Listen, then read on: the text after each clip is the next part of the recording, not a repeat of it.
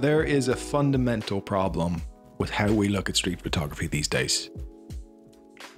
I think the majority of us look at street photography on our phones through social media, and there's a problem with curation and presentation. For the most part, photos are presented to us on our phones in a physical size no bigger than a negative, which makes it difficult to see the detail and subtleties in a photograph and really appreciate it. Worst of all, curation is left up to the algorithm, which does a really poor job of presenting you with genuinely good photography. But a really great job at interrupting your feed and recommending a random celebrity for you to follow. But when you look at street photography in a photo book and you see work presented to you as the artist intended to be seen, or if you've seen an exhibition with maybe a dye transfer print of a Kodachrome negative, then you know exactly what we're missing by only experiencing street photography on our phones. But then again, photo books can be expensive, and exhibitions, while they're the most visceral way of seeing photographs, they're far and few between unless you live in a major city like London or New York. So these are all things that myself and Josh were thinking about last year when we made our first issue of our street photography magazine. We thought it would be a cool idea to offer street photography as a tangible experience where people could just flip through it and see the best street photography that we could find, accompanied by interviews and insights with our favorite photographers talking about the process of making street photos. And we wanted it to be an affordable way to see a carefully curated selection of street photography in print. Something that was published on a regular basis with new photography and that never sold out and was easy to get a hold of regardless of where you lived in the world. And we did it. We made four issues last year and we just released our fourth issue with this beautiful cover image by Greg Girard. It's his photo called Dark Car 1982, taken from his moody atmospheric series called Under Vancouver and we have a bunch of photos featured from that series in this issue, along with an interview by Greg talking about the process and talking about what it was like as a young man taking those photos in Vancouver. And along with Greg, we have Matt Stuart, Richard Sandler, Sophie Green, Johny Pitts, and Emily Howe, with photos by myself and Josh on various projects that we're working on. And it's shipping today. You can pick up a copy at frame-lines.com along with any other issue that we made last year. And yeah, I just want to thank everyone for picking up a copy if you've already ordered one. It began as an experiment last year, but because of the support you've given us, we've been able to make four issues last year and hopefully many, many more. So in this video, myself and Josh are going to tell you about what's in Framelines issue four. And as I've just mentioned, first up is Greg Girard's Under Vancouver. These are some of Greg's earliest photos from 1972 to 1982, which show Vancouver's final days as a port town at the end of the line. A very different Vancouver to what it is now.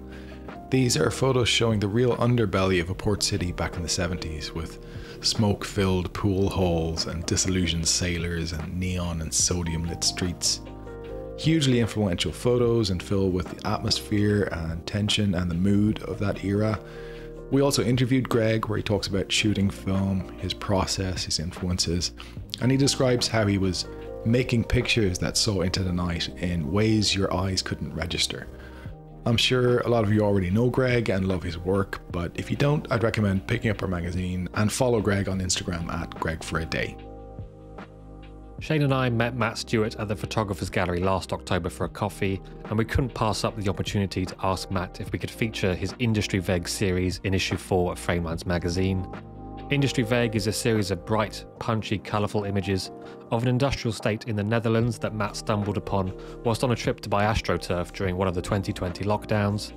The bizarre choice of colour and striking industrial landscape immediately caught Matt's eye, and he came back with his camera and began taking photographs. Matt says these pictures were taken at varying times of day, but the one thing they all have in common is that I considered the light to be at its very best for each shot. Each photo was timed for the best light and taken at the very best time. We love that these images straddle street photography, documentary, and landscape, and they really have to be seen in print to be fully appreciated. Richard Sandler, NYC in a minor key. A new companion volume to The Eyes of the City, which was Richard's first book of photos from New York and Boston. NYC in a minor key, however, focuses on New York City.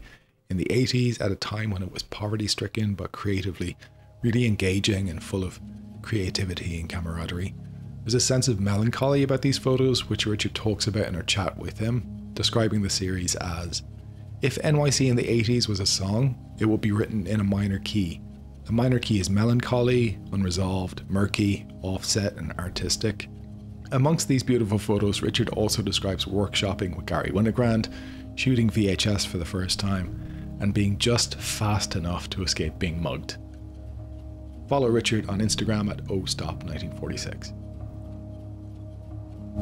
Beachology is a series by London based social documentary and art photographer Sophie Green. I've been a huge fan of Sophie's work for years, her use of colour, her street portraits, and her work in seaside towns has been a massive influence on my own photography. Beachology focuses on the resuscitation of the British seaside following the relaxation of COVID rules in 2020. The photographs celebrate the charming and eccentric British seaside resorts and how they remain one of the key places to experience the quirkiness and idiosyncrasies of what it is to be British. Sophie discusses her distinct use of colour in issue 4. Colour for me is a real source of energy and a coping mechanism. I notice it in the spirit, atmosphere, and energy of a place and people. Johny Pitts' home is not a place. In this series, from a new book published by HarperCollins, Johny and poet Roger Robinson circumnavigate the British coast in search of an answer to the question What is Black Britain? Reflecting on Black British culture, people, geography, and exploring the notion of home. And in Johny's words, my photographic practice involves trying to celebrate black spaces, to capture them while they're still here and give them a home. If not in a literal sense, then in a figurative sense. For me, home is somewhere that you take with you. And you can learn more about that project and follow Johny at Johny Modern. Sisyphus is a series from New York based photographer Emily Howe. Working with 35mm and 120 film, Emily's stunning use of colour and considered compositions form the foundation of this beautiful series of images on the changing of the seasons in upstate New York and New York City itself. Emily says, I'd had a long flirtation with photography throughout my teens and 20s, which I mostly spent with a series of digital cameras. It wasn't until I was encouraged to try film and gifted my first medium format camera by someone important to me that both my life and bank account were irrevocably changed. There's a really beautiful quietness to these images of New York City, which sits in contrast to Emily's more dynamic street photographs.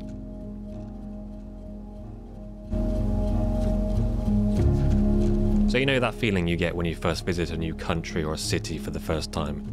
Everything's very new and unfamiliar. It's very exciting, it's very motivating, particularly when you have a camera.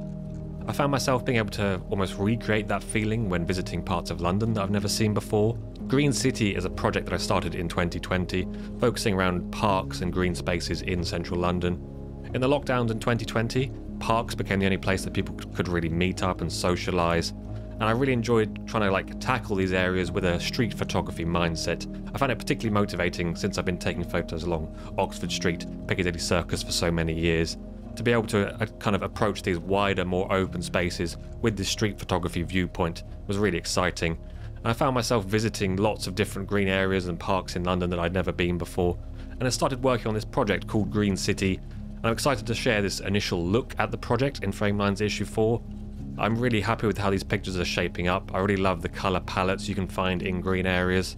Really excited to see what you guys think of these images as well. And generally, I'm looking forward to building on this project discovering new areas, and seeing what it becomes over the coming months and years.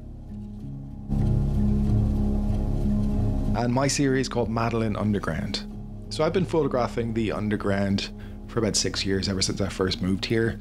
I'm endlessly fascinated with this place because it's not something I grew up around because I, I, lived in Ireland and we don't have the underground in Ireland. We barely have a rail network in Ireland, to be fair. So the novelty factor of life on the underground is something that really appeals to me because I'm just not used to seeing it. And I guess in this series that's included in this magazine, in particular, what I'm trying to photograph is a sensory experience of being on the tube. So the breeze as you're on a platform and a train goes by or if you're in a carriage and the breeze that comes through the, the windows when they're open in the summer, or the smell of the underground, that mechanical sort of weird smell. And just the sensory like touch and feel and texture of the whole experience of being in the underground and trying to photograph that. And it's uh, it's an ongoing thing I'm working on, and in general, this is what we're trying to include now with the work that we're featuring in the magazine from myself and Josh. Just sort of almost like diary entries or journal entries, where it's like a look at something we're working on and developing.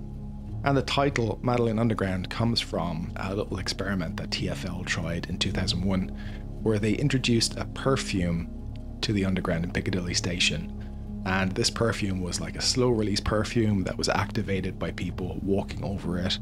And it smelled like jasmine and flowers, and everyone hated it. Everyone hated it. Their attempts to improve the underground experience were rejected thoroughly, uh, like in the space of a month. And uh, they gave up because everyone sort of likes or is familiar with that underground smell, that kind of mechanical, oily, body odorly smell that people like. So, yeah, I thought it was an interesting anecdote talking about the sensory experience of being in the underground. So that's my series in issue four, Madeleine Underground. So that's issue four of Framelines magazine. We now have four issues out there in the world. It feels like a proper thing now. Up until very recently, I've been packing and fulfilling each individual order by hand from my kitchen table. It's now got to the point where I can't physically do that anymore, so we have enlisted some help which means we now have more time to work on how we can grow the community, open the magazine up to submissions, have more regular columns, to experiment with new ideas and see how we can grow the magazine. If you'd like to pick up a copy of issue 4, please visit frame-lines.com or go to the link in the description. We're really excited to see what you guys think, so please let us know.